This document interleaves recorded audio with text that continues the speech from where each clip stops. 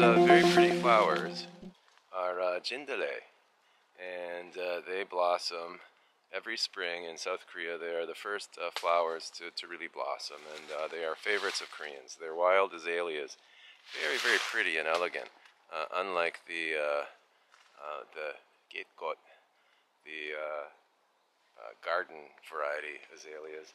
Now, what is happening is that they keep blooming each spring earlier and earlier, and this is disturbing Koreans.